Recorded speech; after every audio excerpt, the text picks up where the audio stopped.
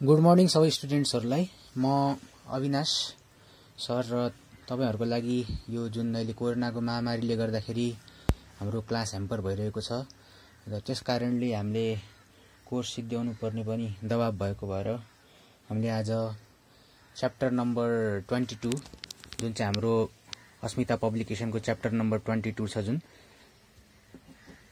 Value added tax VAT भन्ने जुन chapter छ त्यसको हामीले यसै भिडियो मार्फत केही जानकारीहरू र यो च्याप्टरलाई बुझ्ने कोसिस गर्नेछौँ। र सुरु गरौँ सर्वप्रथम value added tax value added tax भनेको के हो त? र त्यसको लागि हामीले सबैभन्दा पहिला चाहिँ भ्याल्यु एडेड भनेको के हो भन्ने कुरा बुझ्नुपर्ने हुन्छ। सिम्पली भ्याल्यु एडेड भनेको चाहिँ के रहेछ त भन्दाखेरि चाहिँ सेल्स भ्याल्युमा जुन चाहिँ कस्ट अफ पर्चेजको जुन चाहिँ भ्याल्यु छ त्यसलाई टोटल सेल्स भ्याल्युबाट हामीले घटायौँ भने त्यो यसको बिचमा जुन डिफ्रेन्स आउँछ त्यसलाई चाहिँ हामीले के भन्छौँ त भ्याल्यु एडेड भन्छौँ। सपोज ए भन्ने एउटा बिजनेसम्यान छ ए भन्ने बिजनेसम्यानको उसको लागि उसको पर्चेस प्राइस चाहिँ सपोज टेन रुपिज हो भने र उसले सेल्स भ्याल्यु चाहिँ पन्ध्र रुपियाँ जुन चाहिँ उसले फिफ्टिन रुपिजमा चाहिँ उसले त्यो बिजनेसम्यानले चाहिँ अरूलाई चाहिँ बेच्छ भने त्यो उसको जुन चाहिँ डिफ्रेन्स जुन छ उसको कस्ट प्राइस जुन चाहिँ उसको दस रुपियाँ छ र उसको सेल्स भ्यालु जुन पन्ध्र रुपियाँ छ त्यो बिचमा डिफ्रेन्सलाई चाहिँ हामीले भ्याल्यु एडेड भन्छौँ र भ्याल्यु एडेडमा लाग्ने ट्याक्सलाई चाहिँ हामीले भ्याट भन्छौँ। जुन चाहिँ भ्याल्यु एडेड ट्याक्स भनेर नामले नै हामीले एकदम स्पष्टका साथ बुझ्न सकिन्छ। यहाँ एउटा डेफिनेसन लेखिएको छ। Tax impose on added value of goods and services on the basis of added value in different stages of production and distribution भनेर लेखिएको छ। यसको मतलब पनि यसबाट पनि स्पष्ट हुन्छ कि ट्याक्स चाहिँ केमा लाग्छ त भन्दाखेरि added value of goods and सर्भिसेसमा चाहिँ ट्याक्स लाग्छ भने त्यसलाई चाहिँ के भनिन्छ त? भ्याल्यु एडेड ट्याक्स भनेर भनिन्छ। भन्नाले चाहिँ हरेक स्टेज जस्तो स्टेजहरू धेरै प्रकारका हुन्छन्। एउटा भ्याट क्यालकुलेसन गर्दाखेरि जस्तो एउटा म्यानुफ्याक्चरर हुन्छ। म्यानुफ्याक्चररले होलसेलरलाई बेच्छ। होलसेलरले फेरि रिटेलरलाई बेच्छ रिटेलरले फेरि फाइनली कस्टमरलाई बेच्छ। हो यो हुँदाखेरि यहाँ यो टोटल यो प्रोसेसमा चाहिँ चारजना इन्भल्भ छन् म्यानुफ्याक्चरर होलसेलर रिटेलर र कस्टमर हो यो चारजनाको बिचमा चाहिँ जुन चाहिँ एभ्री स्टेजेसमा चाहिँ गएर जुन यो डिफ्रेन्ट स्टेजेस भनेर लेखिएको छ डिफ्रेन्ट स्टेजेसमा जुन चाहिँ ट्याक्स लाग्छ है त्यसलाई चाहिँ भ्याल्यु एडेड ट्याक्स भनेर भनिन्छ। र यो डिफ्रेन्ट स्टेजेसमा चाहिँ यो यहाँ इन्क्लुडेड इन्क्लुड भएका भेरियस मान्छेहरू छन् तिनीहरूले चाहिँ आफ्नो हिसाबले चाहिँ सर्टेन भ्यालु चाहिँ एड गरेर हुन्छन् भ्यालु एड भन्ने बित्तिकै हामीले के बुझ्न सक्छौँ प्रफिट मार्जिन राखेर गर्छन् होइन? जुन चाहिँ कुनै पनि म्यानुफ्याक्चररले दस रुपियाँमा चाहिँ एउटा सामान चाहिँ म्यानुफ्याक्चररले चाहिँ के गरिरहेछ त भन्दाखेरि म्यानुफ्याक्चररले चाहिँ दस रुपिजमा चाहिँ सामान चाहिँ म्यानुफ्याक्चररले जुन चाहिँ दस रुपियाँमा सामान किनेको छ उसले अब त्यो सामानलाई फेरि होलसेलरलाई सपोज बाह्र रुपियाँमा बेच्छ होइन? त्यस्तै गरेर होलसेलरले रिटेलरलाई पन्ध्र रुपियाँमा बेच्छ रिटेलरले अल्टिमेटली कस्टमरलाई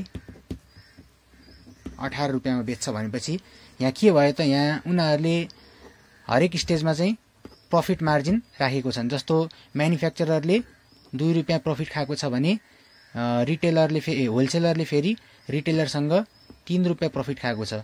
त्यस्तै गरेर रिटेलरले कस्टमरसँग कति रुपियाँ प्रफिट खाएको छ त भन्दाखेरि फेरि तिन रुपियाँ प्रफिट खाएको छ। भनेपछि अल्टिमेटली कस्टमरले त्यो म्यानुफ्याक्चररले दस रुपियाँमा बनाएको अथवा म्यानुफ्याक्चर गरेको सामान चाहिँ अल्टिमेटली कस्टमरको ह्यान्डमा चाहिँ अठार रुपियाँमा पुग्छ। तर यो अठार रुपियाँमा पुग्ने भन्ने पनि एक्चुअल कस्ट होइन। यसमा पनि के हुन्छ त भन्दाखेरि हरेक जुन चाहिँ यो भ्याल्यु एड भएको छ दुई रुपियाँ तिन रुपियाँ यहाँ तिन रुपियाँ हो यसमा फेरि भ्याट लाग्छ। भ्याट हाम्रो नेपालमा कति पर्सेन्टमा लाग्छ त भन्दाखेरि तेह्र पर्सेन्टमा चाहिँ भ्याट लाग्छ। हो त्यसले गर्दाखेरि यहाँ पनि तेह्र पर्सेन्ट यहाँ पनि तेह्र पर्सेन्ट यो जुन चाहिँ दुई रुपियाँ प्रफिट मार्जिन खाएको छ त्यसमा तेह्र पर्सेन्ट भ्याट लाउँदा कति एमाउन्ट आउँछ? तिन रुपियाँ प्रफिट मार्जिन खाएको छ त्यसमा फेरि तेह्र पर्सेन्ट भ्याट लाउँदा कति एमाउन्ट आउँछ? त्यस्तै गरेर फेरि यहाँ पनि तिन रुपियाँ प्रफिट खाएको छ यसको तेह्र पर्सेन्ट भ्याट लाउँदा कति प्रफिट मार्जिन आउँछ ए कति एमाउन्ट आउँछ? यो सबैलाई यो प्लस यो प्लस यो जोडेर यो स्टेजमा यो प्लस यो प्लस यो जोडेर यसमा यो प्लस यो प्लस यो जोडेर यसमा लागेर अल्टिमेटली हाम्रो चाहिँ यो एमाउन्टमा चाहिँ हाम्रो के आउँछ त भन्दाखेरि अल्टिमेटली हाम्रो पैसा कस्टमरले कति रुपियाँमा चाहिँ एउटा सामान पाउँछ किन्नलाई भनेर हामीले थाहा पाउन सक्छौँ। त्यो भयो हाम्रो भ्याटको कुरा होइन? भन्नाले भ्याट भनेको के रहेछ त भन्दाखेरि एभ्री स्टेजमा चाहिँ कति भ्याल्यु एडिसन हुँदै जान्छ त्यसमा लाग्ने ट्याक्सलाई चाहिँ के भन्दो रहेछ त? भ्याल्यु एडेड ट्याक्स भनेर भन्दो रहेछ भन्ने बुझियो। त्यस्तै गरेर अरू सर्ट इन्फर्मेसन अबाउट भ्याट छ हाम्रो होइन? भ्याटमा अरू जान्नुपर्ने कुराहरू के के छ त भन्दाखेरि वान नम्बरमा it is also known as general consumption tax general consumption tax भन्नाले हामीले साधारणतया कन्जम्सन गर्दाखेरि पसलमा गएर सामान किन्दाखेरि हामीलाई लाग्ने ट्याक्स चाहिँ हाम्रो के हो त? जेनरल कन्जम्सन ट्याक्स हो। होइन? हामीलाई ट्याक्स पेयरलाई थाहा भएर आउँदैन हामीले ट्याक्स तिरिरहेछौँ भनेर हामी किराना पसलमा जान्छौँ। साधारण किरानाको आइटम लिनको लागि सपोज चाउचाउ किन्यौँ बिस्कुट किन्यौँ होइन? कुनै पनि खाद्य पदार्थहरू किन्यौँ भने त्यहाँ हामीले के गरेर हुन्छ त भ्याट तिरेर हुन्छौँ तर हामीलाई चाहिँ हामीले भ्याट तिरिरहेछौँ भन्ने चाहिँ हामीलाई थाहा पनि हुँदैन होइन? त्यसलाई चाहिँ हामीले के भन्छौँ त भ्याट अन जेनरल कन्जम्सन होइन? जेनरल कन्जम्सनमा डे टु डे जेनरली हामीले कन्जम्सन गर्ने सामानमा हामीले तिरिरहेको ट्याक्सलाई के भनिन्छ त भ्याट भनिन्छ। त्यस्तै गरेर tax on goods and services हामीले प्रयोग गर्ने गुड्स होइन? हामीले खाद्य सामग्री मात्र होइन कुनै पनि प्रकारका गुडहरूमा हामीले भ्याट तिरेर हुन्छौँ होइन? एन्टरटेनमेन्ट गुड्सहरू होइन? त्यस्तै गरेर टिभी फ्रिज मोबाइल आदि इत्यादि जे किन्दाखेरि पनि लुगा किन्दाखेरि खाद्य पदार्थ किन्दाखेरि जे किन्दाखेरि पनि हामीले के के तिरेर हुन्छौँ त? भ्याट तिरेर हुन्छौँ त्यस्तै गरेर सर्भिसमा पनि हामीले कहिले कहिले भ्याट तिरेर हुन्छौँ होइन? कुनै पनि सर्भिस युज गर्दाखेरि हामीले भ्याट तिरेर हुन्छौँ तपाईँहरूले तपाईँहरूमा तपाईँहरूको घरमा आउने कुनै बिलहरू हेर्ने होला त्यसमा पनि भ्याटको एमाउन्टहरू काटिरहेको हुन्छ होइन? इलेक्ट्रिसिटी बिलहरू यताउति हेर्दाखेरि त्यसमा पनि भ्याटको एमाउन्टहरू काटिरहेको हुन्छ। त्यस्तै गरेर it is charge as percentage of price. जहिले पनि हामीले भ्याटलाई चाहिँ पर्सेन्टेजमा निकाल्छौँ जस्तो एट द रेट कति त हाम्रो नेपालमा थर्टिन पर्सेन्ट अहिले चलिरहेको भ्याटको पर्सेन्टेज चाहिँ के हो त? थर्टिन पर्सेन्टेज हो होइन? त्यसले यो charge as percentage of price भनेपछि थर्टिन पर्सेन्ट त्यस्तै गरेर it is a indirect tax अब इन्डाइरेक्ट ट्याक्स भन्ने बित्तिकै हामीले के बुझ्नु पर्यो त? यो चाहिँ अप्रत्यक्ष रूपमा तिरिरहेको कर भनेर बुझ्छौँ। हामीले अस्ति पहिला इन्कम ट्याक्सहरू पढेका थियौँ होइन? इन्कम ट्याक्सहरूमा हामीले employment income from employment income from बिजनेसहरू पढ्यौँ। हो त्यसमा चाहिँ के हुन्थ्यो त? प्रत्यक्ष रूपमा चाहिँ ट्याक्स क्यालकुलेसन चाहिँ हाम्रो ट्याक्स पेयरले नै गर्थ्यो होइन? जसले ट्याक्स तिर्न लाग्छ त्यसले नै ट्याक्स क्यालकुलेसन गर्थ्यो। हामीले क्लासमा पनि गरेका थियौँ होइन? स्ल्याब रेट लगाएर वान पर्सेन्ट होइन? Ten percent twenty percent thirty percent thirty six पर्सेन्टसम्म हामीले स्ल्याब रेट लाएर गरेका थियौँ। त्यो भनेको चाहिँ हाम्रो के हो त भन्दाखेरि चाहिँ डाइरेक्ट ट्याक्सको क्यालकुलेसन हो भने भ्याट भनेको चाहिँ के हो त? इन्डाइरेक्ट ट्याक्स हो भनेर भन्छ। एक प्रकारको यो इन्डाइरेक्ट ट्याक्स हो। त्यस्तै गरेर generally VAT is a tax on consumption so exports are not usually subject to VAT होइन? एक्सपोर्टहरूलाई चाहिँ कहिले पनि भ्याट लाग्दैन भनेर भन्छ होइन? हामीले फर्दर हामीले न्युमेरिकलहरू गर्दाखेरि एक्सपोर्टसँग रिलेटेड इम्पोर्टसँग रिलेटेड आयो भने हामीले त्यसमा भ्याट क्यालकुलेसन गर्दैनौँ त्यो पछि बुझ्छौँ। त्यस्तै गरेर it is a it is tax at every stage of production consumption and distribution अघि नै हामीले भनिसक्यौँ होइन हाम्रो each stage of production consumption production होइन डिस्ट्रिब्युसन र कन्जम्सन भनेपछि एभ्री स्टेजमा चाहिँ हामीले के तिरेर हुन्छ त? तेह्र पर्सेन्ट भ्याट तिरेर हुन्छौँ भनेर हामीले भनिसकेका छौँ। यही कुरा यसले भन्छ। It is tax on every stage of production consumption and distribution त्यस्तै गरी it is multi stage tax होइन। मल्टी स्टेज ट्याक्स पनि त्यही कुरा यो एउटा स्टेज भयो यो अर्को स्टेज भयो यो अर्को स्टेज भयो यो अर्को स्टेज भयो। भनेपछि यो हरेक स्टेजमा चाहिँ यो मल्टी स्टेज ट्याक्स लाग्दो रहेछ। It is levied on value added amount only होइन? अघि नै हामीले भन्यौँ भ्याल्यु एडेड एमाउन्टमा चाहिँ यो लाग्छ। यहाँ दुई रुपियाँ भ्याल्यु एड भएको छ यहाँ तिन रुपियाँ भएको छ यहाँ तिन रुपियाँ भएको छ। त्यसमा तेह्र तेह्र पर्सेन्ट लाग्दाखेरि यो चाहिँ भ्याल्यु एडेड एमाउन्टमा चाहिँ लेवाई हुँदो रहेछ अथवा लाग्दो रहेछ भन्ने बुझ्यौँ। त्यस्तै गरेर इट एभोइड्स कास्केटिङ इफेक्ट अब कास्केटिङ इफेक्ट भनेको के हो भन्ने बुझ्नुपर्ने हुन्छ। कास्केटिङ इफेक्ट भनेको चाहिँ के हो त?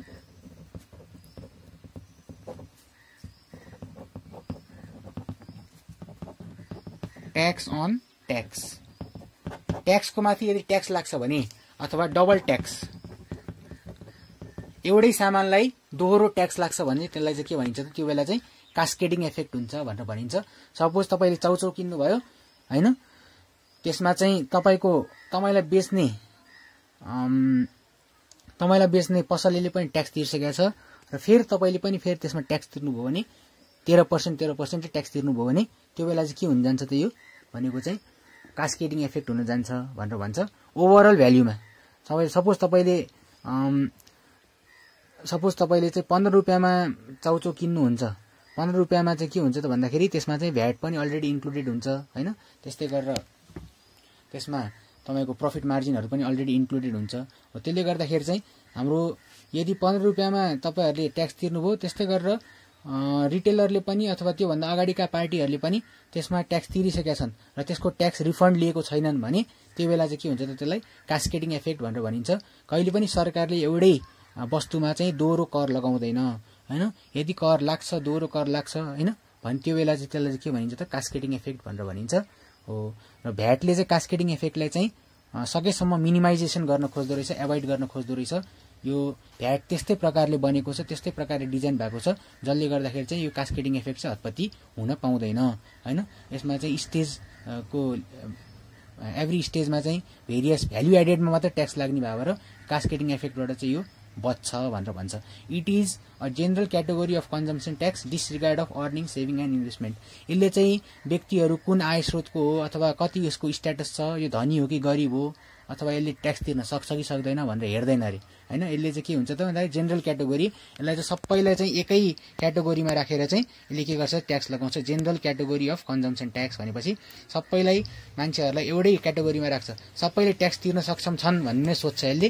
त्यसले गर्दाखेरि गरिबभन्दा गरिब मान्छे पनि गएर चाउचो किन्न गयो भने पनि त्यसले पन्ध्र रुपियाँ तिर्छ। त्यस्तै गरेर धनीभन्दा धनी मान्छे गएर चाउचो किन्न गयो भने पनि त्यसले पन्ध्र रुपियाँ नै तिर्या हुन्छ।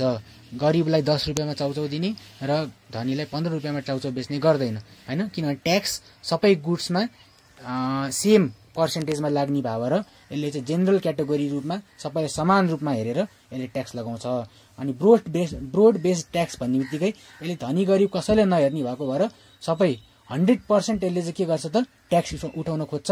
ब्रोड बेस्ड यसको चाहिँ यसको चाहिँ बेस चाहिँ के छ त ब्रोड छ अथवा वाइड छ। यसले सबै खाले इन्कम भएका आय स्रोत भएका व्यक्तिहरूलाई समेट्न खोज्छ भनेर भन्छ। त्यस्तै गरेर सब्सटिट्युट अफ सेल्स ट्याक्स पहिला पहिला चाहिँ नेपालमा सेल्स ट्याक्स लागू हुन्थ्यो। भने अब भ्याटको इन्ट्रोडक्सन पछि चाहिँ भ्याट लागू हुन थाल्यो।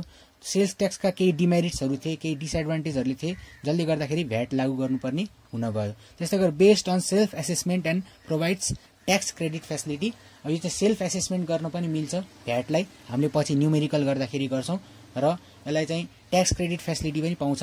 ट्याक्स क्रेडिट फेसिलिटी भनेको के हो त भन्दाखेरि चाहिँ जुन चाहिँ यो स्टेजमा जुन म्यानुफ्याक्चररले यो भ्याल्यु एडेडमा ट्याक्स तिरेछ होलसेलरले उसको भ्याल्यु एडेडमा थ्री पर्स थ्री रुपिजमा ट्याक्स तिरेछ त्यस्तै गरेर रिटेलरले थ्री रुपिजमा ट्याक्स तिरेछ हो यो ट्याक्स तिरेको ओभरअल एमाउन्ट चाहिँ फेरि फाइनल्ली हामीले ट्याक्स लगाउने भनेको चाहिँ कन्ज्युमरलाई नै हो। कन्ज्युमरले जुन टोटली ओभरअल ट्याक्स तिरे हुन्छ त्यो ट्याक्सबाट उसले रिफन्ड पाउँदै जान्छ। उसले म्यानुफ्याक्चररले तिरेको प्रिभियस स्टेजको ट्याक्स यो स्टेजमा गएर उसले रिफन्ड पाउँछ भने होलसेलरले तिरेको ट्याक्स यो स्टेजमा गएर रिफन्ड पाउँछ पाउनु चाहिँ तर हाम्रो कास्केटिङ इफेक्टबाट बच्नको लागि मात्र हाम्रो यो ओभरअल स्टेज अफ एभ्री स्टेजले चाहिँ ट्याक्स तिर्नुपर्छ भनेको तर फाइनल्ली यसको इफेक्ट चाहिँ कहाँ गएर हिट हुन्छ त भन्दाखेरि कस्टमरलाई गएर हिट हुने हो। त्यसले गर्दाखेरि चाहिँ यो प्रिभियस स्टेजमा भएका सबै पार्टीहरूले चाहिँ ट्याक्स क्रेडिट फेसिलिटी पाउँछन्। अब हामी दोस्रो स्लाइडमा हौँ जहाँ चाहिँ हामीले सेल्स ट्याक्स र भ्याटको बिचमा डिफ्रेन्स पढ्छौँ। र सेल्स ट्याक्स र भ्याटमा के डिफ्रेन्स छ त? अथवा सेल्स ट्याक्स जुन चाहिँ पहिला थियो लागू भइरहेको थियो त्यसलाई भ्याटले किन रिप्लेस गर्यो त भनेर पढ्छौँ। त्यसमा केही कमी कमजोरी भएका कारणले नै भ्याटले सेल्स ट्याक्सलाई रिप्लेस गरेको हो। सपोज अब हेरौँ हामी सेल्स ट्याक्समा के भन्छ त? लेभाइड अन सिङ्गल स्टेज भन्छ भने भ्याटमा चाहिँ के छ त? लेभाइड अन मल्टी स्टेज भनेर भन्छ। जस्तो सेल्स ट्याक्स भनेको चाहिँ के हो त? भन्दाखेरि चाहिँ सेल्स ट्याक्स सपोज एउटा वस्तु चाहिँ सय रुपियाँ मूल्य छ। त्यसमा प्रफिट पचास रुपियाँ राखेर त्यसको मूल्य चाहिँ एक सय पचास भयो। भने सेल्स ट्याक्स चाहिँ एट द रेट कतिमा लाग्थ्यो त भन्दाखेरि तेह्र पर्सेन्टै लगायौँ भने सपोज सेल्स ट्याक्सलाई एक सय पचासमा तेह्र पर्सेन्ट सेल्स ट्याक्स लाग्थ्यो होइन? अनि एमाउन्ट सर्टेन आउँथ्यो। हो। भने यो सर्टेन एमाउन्ट आएपछि यो फर्स्ट स्टेज यो स्टेज वानमा मात्र ट्याक्स लाग्यो सेकेन्ड स्टेज र थर्ड स्टेजमा चाहिँ यो जुन एमाउन्ट आएको छ त्यसमै प्लस प्रफिट जोडेर लाग्थ्यो। यसमा फेरि कुनै पनि सेल्स ट्याक्स लाग्दैन थियो। सेकेन्ड र थर्ड स्टेजमा भने। सेल्स ट्याक्समा चाहिँ के लाग्दो रहेछ त? सिङ्गल स्टेजमा मात्र ट्याक्स लाग्ने रहेछ। एउटा कुनै स्टेज सेलेक्ट गर्ने हो त्यसमा मात्र हाम्रो ट्याक्स लाग्छ। त्यसपछि यो कुनै पनि स्टेजमा ट्याक्स लाग्दैन भने यो भ्याट भनेको चाहिँ मल्टी स्टेजमा लाग्ने ट्याक्स हो। अघि हामीले हेरिसक्यौँ हरेक स्टेजमा ट्याक्स लगाइरहेछ त्यसैले गर्दाखेरि यसलाई मल्टी स्टेज ट्याक्स भनेर भन्छ। त्यस्तै गरी सेल्स ट्याक्स भनेको चाहिँ non scientific compare to VAT VAT चाहिँ अलिकति साइन्टिफिक छ किन भन्दाखेरि यसमा ट्याक्स क्रेडिट फेसिलिटी छ। पहिला ट्याक्स तिर्सेको त्यसको क्रेडिट पाउन सक्छ। त्यस्तै गरेर भ्याट भनेको चाहिँ more scientific compare to sales tax. Sales tax भन्दा धेरै साइन्टिफिक हुन्छ। भ्याट। त्यस्तै गरेर सेल्स ट्याक्स भनेको ओल्ड फर्म अफ ट्याक्स हो भने भ्याट भनेको new and revise form of sales tax हो। त्यस्तै गरेर सेल्स ट्याक्स भनेको amount of tax paid is not clear to the customer होइन? यसमा चाहिँ क्लियरली कति एमाउन्ट तिरेको हो मैले ट्याक्समा भनेर थाहा हुँदैन। कस्टमरले थाहा पाउन गाह्रो पर्छ भने यसमा चाहिँ amount of tax paid is clear to the tax payer or customer भन्नाले भ्याटमा चाहिँ मैले तेह्र पर्सेन्ट एमाउन्ट तिरेको हो भनेर चाहिँ प्रि डिफाइन्ड रेट एउटा छ नेपालमा तेह्र पर्सेन्ट तेह्र पर्सेन्टमै ट्याक्स तिरेको हो भनेर उसलाई कन्फर्म हुन्छ। It is not shown differently on the invoice इन्भोइसमा चाहिँ यो सेल्स ट्याक्स तिरेको भनेर यति एमाउन्ट भनेर देखाउँदैन थियो पहिला पहिला भने। अहिले भ्याटको वाला बिल इन्भोइसहरूमा चाहिँ VAT calculation is shown separately on the invoice तपाईँहरूले भ्याट बिल हेर्नुभयो भने भ्याटको तेह्र पर्सेन्ट भनेर छुट्टै क्यालकुलेसन गरेर देखाएको हुन्छ। यो पनि यसको एउटा एडभान्टेज हो। अब अर्को हेरौँ merits or advantage of VAT भ्याटले चाहिँ मिनिमाइज द ट्याक्स इभाजन कर छलीलाई रोक्छ। कर छलीलाई रोक्ने यसको मूल उद्देश्य हो अथवा एडभान्टेज हो। सिम्पल टु एडमिनिस्टर यसलाई एडमिनिस्ट्रेसन गर्न पनि सजिलो छ गभर्मेन्टलाई किन भन्दाखेरि यो चाहिँ ब्रोड बेस्ड ट्याक्स भयो र एउटा स्टेज अफ भ्याट चाहिँ एउटा एउटा स्टेजको मान्छेले चाहिँ छुटा छुटाउने बित्तिकै त्यसको अल्टिमेटली बर्डन उसैले पर्ने भएको भएर उसले कहिले पनि भ्याट लिन छुटाउँदैन। एउटा पसलेले कस्टमरबाट भ्याट लिन छुटायो भने गभर्मेन्टले चाहिँ उसलाई टोटल भ्याटै टोटल एमाउन्ट अफ भ्याटै मागिरहेको हुन्छ त्यसले गर्दाखेरि उसले आफ्नो खल्तीबाट नै भ्याट तिर्नुपर्ने भएको हुनाले यसले गर्दाखेरि चाहिँ उसले कहिले पनि करलाई चाहिँ अथवा भ्याट उठाउन चाहिँ कहिले पनि बिर्सिँदैन। ट्रान्सपेरेन्ट ट्रान्सपेरेन्ट पनि हुन्छ यो स्पष्ट हुन्छ छर्लङ्ग हुन्छ। कस्टमरले कति भ्याट तिरिरहेको छ भनेर चाहिँ कस्टमरलाई तेह्र पर्सेन्ट भनेर छर्लङ्ग हुन्छ स्पष्ट हुन्छ। Minimum burden of to the parties involve in every stage यसमा चाहिँ सबैलाई एउटैलाई टोटल्ली भार पर्दैन। यसमा चाहिँ हरेकले भ्याटको एमाउन्ट चाहिँ आफआफ्नो तरिकाले आफआफ्नो पोल्टामा परेको भ्याटको एमाउन्ट चाहिँ तिर्ने भएको भएर सबैलाई छुट्टै छुट्टै मिनिमम बर्डन पर्छ। एउटैलाई नै लगेर एउटैलाई नै भार पर्दैन भ्याट तिर्नको लागि। सेल्स ट्याक्समा चाहिँ जस्तो एउटैलाई पहिलो स्टेजमा भएको मान्छेलाई नै टोटल्ली बर्डन पर्थ्यो भने तर भ्याटमा चाहिँ के हुन्छ त भन्दाखेरि यो चाहिँ मिलिजुली सबैले तिर्ने भएको भएर यसमा चाहिँ टोटल्ली बर्डन पर्दैन। Based on value added not the total price होइन भ्याल्यु एडेडमा लाग्ने ट्याक्स भएको भएर यो टोटल प्राइस भन्दा पनि भ्याल्यु एडेडसँग बेस्ट भएको हो। त्यसले गर्दाखेरि यो यो पनि एउटा मेरिट हो। Mass participation ultimately more revenue to the government धेरैभन्दा धेरै पार्टीहरू इन्भल्भ हुने भएको भएर यसमा चाहिँ गभर्मेन्टलाई चाहिँ मोर रेभेन्यू जेनेरेट गर्नलाई हेल्प गर्छ भनेर भन्छ।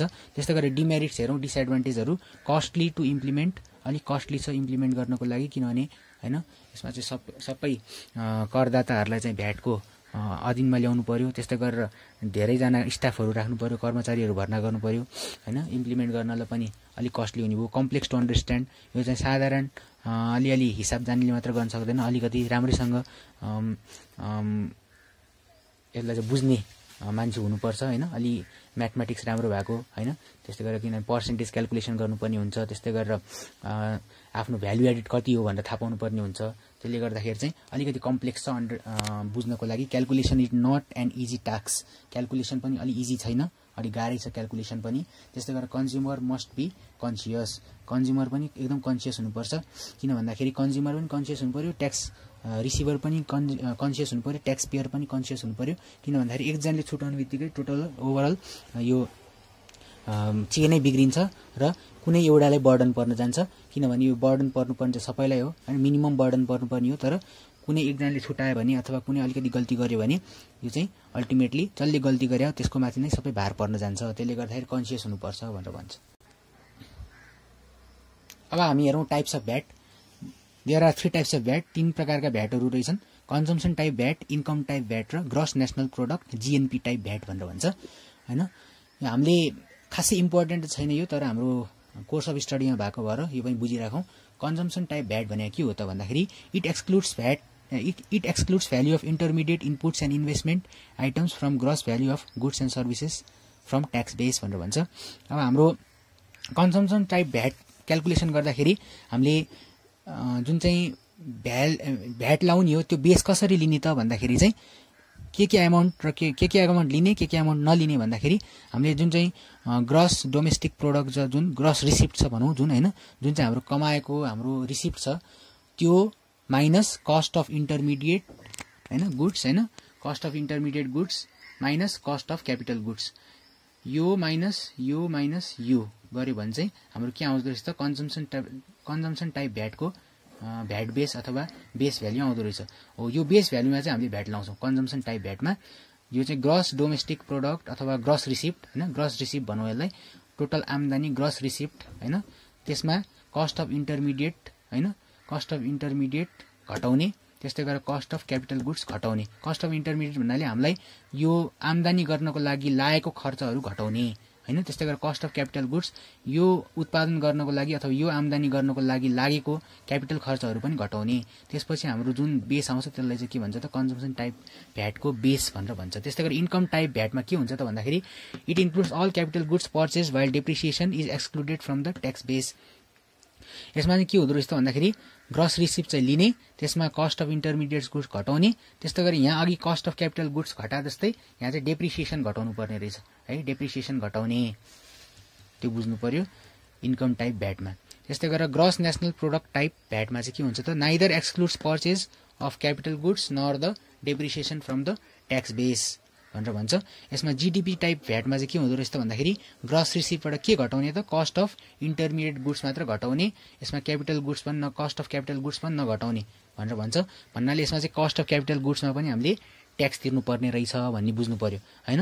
भन्दाखेरि चाहिँ सबभन्दा बेस्ट हाम्रो टाइप अफ भ्याट चाहिँ कुन रहेछ त भन्दाखेरि कन्जम्सन टाइप भ्याट भनेको चाहिँ सबभन्दा mostly use type of VAT यही हो। र हामीले पनि यही यसमा परिप्रेक्ष्यमा रहेर नै हामीले हिसाबहरू गर्छौँ। त्यसैले कन्जम्सन टाइप भ्याट भनेर चाहिँ अलि राम्रोसँग बुझिराख्नु पऱ्यो जुन चाहिँ ग्रस रिसिप्ट अथवा gross domestic product minus cost of intermediate minus cost of capital goods हुँदो रहेछ भनेर बुझ्नु पऱ्यो त्यस्तै गरेर नेपालमा भ्याट कहिलेदेखि इन्ट्रोड्युस भयो भनेर पनि हामी बुझौँ।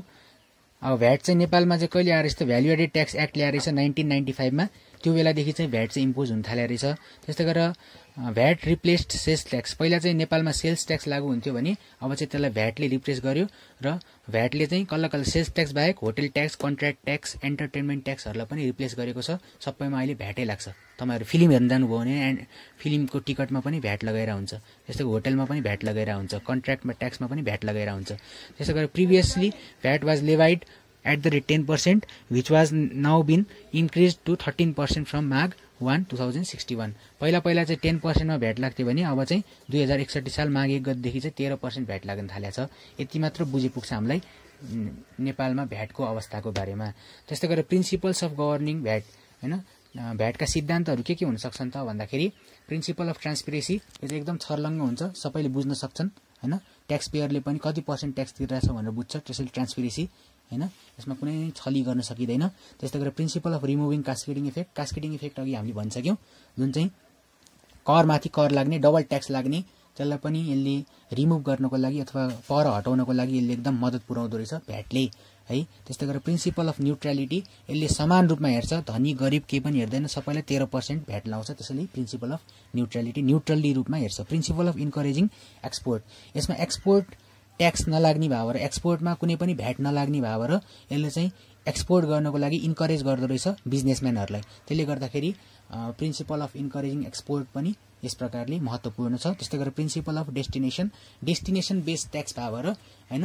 यसले एभ्री डेस्टिनेसनमा म्यानुफ्याक्चररले होलसेलरलाई बेच्दाखेरि पनि त्यो होलसेलर चाहिँ म्यानुफ्याक्चरको लागि डेस्टिनेसन भयो भनेपछि होलसेलरले फेरि रिटेलरलाई फेरि त्यो रिटेलर चाहिँ के भयो त? होलसेलरको लागि डेस्टिनेसन भयो। त्यस्तै गरेर रिटेलरको लागि कस्टमर डेस्टिनेसन भयो भनेपछि डेस्टिनेसन बेस्ड ट्याक्स भनेपछि एभ्री स्टेजमा चाहिँ यसले ट्याक्स कलेक्ट गर्दै जाने भयो भ्यालु एडेडमा भनेर बुझ्नु पर्यो। त्यसले गर्दाखेरि यो प्रिन्सिपलहरू पाँचवटा एकदम महत्त्वपूर्ण याद राख्नुपर्ने कुराहरू छ। त्यस्तै गरेर objective of value added tax हेरौँ अब। टु इन्क्रिज रेभिन्यू मोबिलाइजेसन अनि गभर्मेन्टको रेभिन्यू गभर्मेन्टको आय स्रोत बढाउनुको लागि चाहिँ यसले एकदम मद्दत पुऱ्याउँदो रहेछ। यसको अब्जेक्टिभ उद्देश्य यो पनि हो। Taxing the service to increase the tax base होइन सर्भिसलाई पनि ट्याक्स को दायरामा ल्याएर यसले के गर्यो त? भन्दा रेभिन्यू इन्क्रिज गर्नको लागि अथवा ट्याक्स बेस इन्क्रिज गर्नको लागि यसको उद्देश्य भ्याटको त्यो पनि भयो। मिनिमाइज द ट्याक्स इभेजन कर छली रोक्नको लागि पनि यसले धेरै मद्दत पुर्याउँदो रहेछ। त्यसले गर्दाखेरि ट्याक्स इभेजन मिनिमाइज गर्नलाई पनि यसले मद्दत पुर्याउँदो रहेछ। त्यस्तै गरी international pressure of introducing the VAT सबै देशहरूले भ्याट लागू गर्न थालेपछि नेपाललाई पनि प्रेसर परेको हुनाले भ्याट लागू गर्ने उद्देश्यमा यो पनि पर्दो रहेछ। इन्टरनेसनल प्रेसर होइन? अरू देशले पनि लागू गरेको भएर नेपाललाई पनि प्रेसर परेको हुनाले यसलाई लागू गर्नुपर्ने अवस्था आयो। अब हाम्रो फाइनल्ली लास्ट स्लाइड रहेको छ जुन चाहिँ भ्याटमा हाम्रो थ्योरी पार्ट यसले टोटल्ली कभर गर्छ यो स्लाइडसम्म पढेपछि। अब हामी हेरौँ मेथड अफ कम्प्युटिङ भ्याट अघि हामीले मेथड अफ भ्याट हेरेको थियौँ त्यस्तै गरेर यो चाहिँ कम्प्युटिङ भ्याट। अब कस्तो कस्तो मेथडबाट चाहिँ भ्याटलाई कम्पिटिसन गर्न सकिन्छ त भन्दाखेरि तिन प्रकारका मेथडहरू रहेछ एडिसन मेथड सब्सट्राक्सन मेथड र ट्याक्स क्रेडिट मेथड भन्ने तिन प्रकारका मेथडहरू रहेछ होइन? जस्तो एडिसन मेथडमा चाहिँ के हुँदो रहेछ त कुनै पनि वस्तुहरू निर्माण गर्दाखेरि म्यानुफ्याक्चर गर्दाखेरि लाग्ने खर्चहरू सबैलाई चाहिँ एडिसन मेथडमा जोडिँदो रहेछ जसले गर्दाखेरि चाहिँ हाम्रो ट्याक्स बेस निस्किन्छ। जस्तो वेज लाग्छ कुनै पनि वस्तुहरू म्यानुफ्याक्चर गर्दाखेरि गुड्स म्यानुफ्याक्चर गर्दाखेरि त्यस्तै गरेर रेन्ट गोदामहरूको रेन्ट तिर्नु पर्यो त्यस्तै गरेर इन्ट्रेस्टहरू तिर्नुपर्ने हुनसक्छ होइन? त्यस्तै गरेर प्रफिटहरू पनि तिर्नुपर्ने हुनसक्छ। सबैलाई एडिसन गर्दाखेरि हाम्रो जुन चाहिँ आउँछ त्यसलाई चाहिँ ट्याक्स बेस भनेर भन्छ। त्यस्तै गरेर सब्सट्राक्सन मेथडमा चाहिँ सब्सट्राक्सन मेथडको नामै सब्सट्राक्सन अघि एडिसन मेथडमा हामीले जोड्यौँ भने सब्सट्राक्सन मेथडमा चाहिँ हामीले के गर्छौँ त घटाउँछौँ। के घटाउँछौँ त भन्दाखेरि सेल्स भ्याल्युमा आएको जुन एमाउन्ट छ त्यसबाट चाहिँ हामीले कस्ट अफ मेटेरियल्स घटाउँछौँ भने हाम्रो के आउँछ त त्यसबाट ट्याक्स बेस आउँछ। त्यसलाई चाहिँ हामीले सब्सट्राक्सन मेथड भन्छौँ। त्यस्तै गरेर ट्याक्स क्रेडिट मेथडमा चाहिँ के हुनसक्छ त भन्दाखेरि ट्याक्स क्रेडिट मेथडमा चाहिँ हामीले ट्याक्स जुन चाहिँ हामीले तिरिसकेका छौँ त्यसमा हामीले क्रेडिट पाउने अथवा त्यसलाई चाहिँ हामीले रिफन्ड पाउने। हामीले तिरेको ट्याक्स रिफन्ड पाउँछौँ भने त्यसलाई चाहिँ ट्याक्स क्रेडिट भनेर भन्छ। हो त्यसले गर्दाखेरि चाहिँ हामीले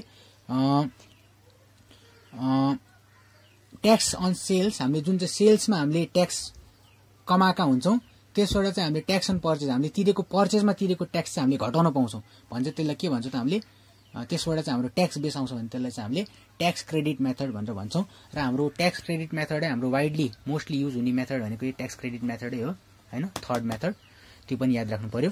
र हाम्रो अब भ्याटलाई कसरी कलेक्सन गर्ने कुन बेला कलेक्सन गर्ने भन्ने पनि बुझ्नुपर्ने हुन्छ। Collection realization and refund of VAT VAT is usually collected within twenty five days of end of previous month भनेर भन्छ।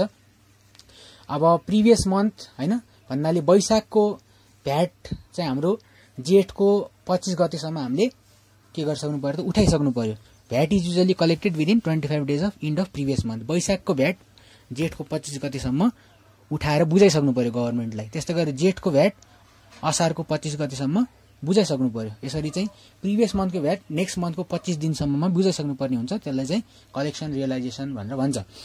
त्यस्तै गरेर penalties and action for non non payment of VAT and other VAT related issues हाम्रो VAT नतिर्दाखेरि अथवा VAT छल्दाखेरि अथवा भ्याटसँग related कुनै पनि हामीले कुनै दुष्टता गऱ्यौँ भने सरकारले के दण्डहरू राखेको छ पेनाल्टीहरू राखेको छ फाइनहरू राखेको छ भन्ने पनि बुझ्नुपर्ने हुन्छ। यसको डिटेल चाहिँ हाम्रो बुकमा छ। त्यही पनि हामीले केही कुराहरू चाहिँ हामीले भन्न सक्छौँ। जस्तो person who fails to apply for the registration before making transaction. कुनैले चाहिँ भ्याटमा रेजिस्टर नभइकन भ्याटसँग सम्बन्धित ट्रान्जेक्सन गर्यो भने त्यसले चाहिँ दस हजारसम्मको पेनाल्टी तिर्नुपर्ने हुनसक्छ फर इच ट्याक्स पिरियड भनेर भन्छ। त्यसै गरेर person who fails to use VAT registration number or clearly display the registration certificate यदि कसैले चाहिँ भ्याट रेजिस्ट्रेसन नम्बर चाहिँ डिस्प्ले गर्न अथवा युज गरेन भने त्यसलाई चाहिँ हामीले कति त भन्दाखेरि गभर्मेन्टले एक हजारसम्मको फाइन लाउन सक्छ भनेर भन्छ। त्यस्तै गरी if tax payer does not maintain tax plate यदि ट्याक्स प्लेट चाहिँ अथवा जुन चाहिँ तपाईँहरूले पसलमा देख्नुहुन्छ नि भ्याटमा रेजिस्ट्रेसन गरेको भनेर एउटा सर्टिफिकेट जस्तो झुन्डाएर राखेको हुन्छ होइन? जुन चाहिँ फोटोसहित होइन? करदाताको फोटोसहित यो एउटा सर्टिफिकेट जस्तो गरेर फ्रेममा झुन्डाएर राखेको हुन्छ। हो त्यस्तो राखेन भने डिस्प्ले गर्न भने त्यस्तो बेला चाहिँ जबसम्म डिस्प्ले गर्दैन तबसम्म दुई हजार पर विक चाहिँ उसले चाहिँ फाइन तिर्नुपर्ने हुन्छ। त्यसो if tax payer does not keep tax plate in specified place ठ्याक्कै देख्ने ठाउँमा राख्नु पर्यो। कस्टमरले देख्ने ठाउँमा चाहिँ ट्याक्स प्लेट राख्नु पर्यो भनेर भन्छ। यो लुकाएर राखेर भएन ड्रवरभित्र लुकाएर राखेर हुँदैन। यदि स्पेसिफाइड प्लेसमा राखेन भने हजार रुपियाँ फाइन तिर्नुपर्छ। त्यसै गरी if person not registered under the tax issues tax invoice यदि ट्याक्समा ऊ रेजिस्टरै छैन तर उसले ट्याक्स इन्भाइस फर्जी छापेर इस्यु गर्यो भने त्यस्तो बेला चाहिँ उसले hundred पर्सेन्टसम्म tax amount as a penalty तिर्नुपर्ने हुन्छ। अरू अरू धेरै पेनाल्टीहरू एक्सनहरू छ जुन चाहिँ हाम्रो बुकमा छ होइन? म सबै यहाँ बयान गरेर साध्य हुँदैन। त्यसको लागि चाहिँ तपाईँहरूले चाहिँ for detail related to penalty and fine please refer to your text book आफ्नो आफूसँग भएको टेक्स्ट बुकमा हेर्नुहोस् त्यसमा फाइन एन्ड पेनाल्टीको बारेमा लेखेको छ। त्यसबाट तपाईँहरूले पढ्न सक्नुहुन्छ। र यदि तपाईँहरूलाई त्यसपछि पनि कुनै ट्याक्स पेयरले चाहिँ ट्याक्ससँग सम्बन्धित चित्त बुझेन भने उसले मैले ट्याक्स तिरेको ठिकै थियो त्यही पनि मलाई मलाई चाहिँ अलिकति ट्याक्स बढी लगाएको हो कि गभर्मेन्टले जस्तो लाग्यो भने छुट्टै हाम्रो एपिलिएट छ ट्याक्स रेभिन्यू ट्राइब्युनल भन्ने छ। त्यसमा चाहिँ तपाईँहरूले गएर चाहिँ त्यहाँ चाहिँ गएर एउटा निवेदन दिएर चाहिँ के गर्न पाउनुहुन्छ त भन्दाखेरि त्यहाँ चाहिँ ट्याक्स सम्बन्धी तपाईँहरूले चित्त नबुझेको कुराहरू राख्न पाउनुहुन्छ होइन? रेभिन्यू ट्राइब्युनल भन्ने एउटा ठाउँ छ। ल यति नै हो। अब हामीले भ्याटसम्म सम्बन्धित हामीले पढ्नुपर्ने कुरा भनेको यति नै हो। थ्योरी पार्टमा। अब हाम्रो प्र्याक्टिकल पार्ट चाहिँ हामीले अर्को स्लाइडमा पढ्छौँ। र यो सम्बन्धी सबै स्लाइडहरूको फोटो पनि म तपाईँहरूलाई पठाइदिन्छु फोटो खिचेर। धन्यवाद।